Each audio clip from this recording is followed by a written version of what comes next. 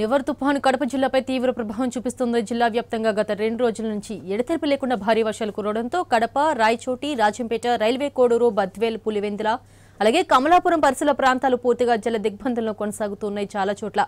ఈదురుగాలుల ప్రభావంతో చెట్లు విద్యుత్ స్తంభాలు నెలకొరిగాయి. దీంతో చాలా ప్రాంతాల్లో విద్యుత్ లేక అంధకారంలో స్థానికులు బిక్కుబిక్కుమంటూ కాలం నెట్టుకొస్తూ ఉన్నారు.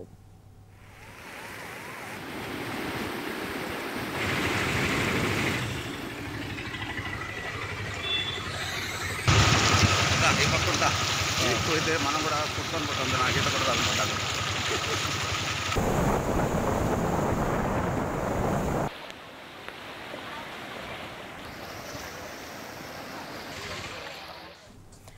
మరోవైపు బుగ్గవంక జలాశయం గేట్లెత్తి దిగువకు నీటిని వదులుతుండటంతో కడప నగరంలోని లోతట్టు ప్రాంతాలు పూర్తిగా నీటితో నిండిపోయాయి. స్థానిక ప్రజలను సురక్షిత ప్రాంతాలకు తరలించేందుకు జిల్లా అధికార యంత్రాంగం సిద్ధమవుతున్నారు. జిల్లా కలెక్టర్ హరికిరణ్ ఆధ్వర్యంలో గురువారం రాత్రి అధికారులతో కలిసి నగరంలోని లోతట్టు ప్రాంతాల్లో పర్యటించి స్థానిక ప్రజలను పునరావాస కేంద్రాలకు తరలించారు.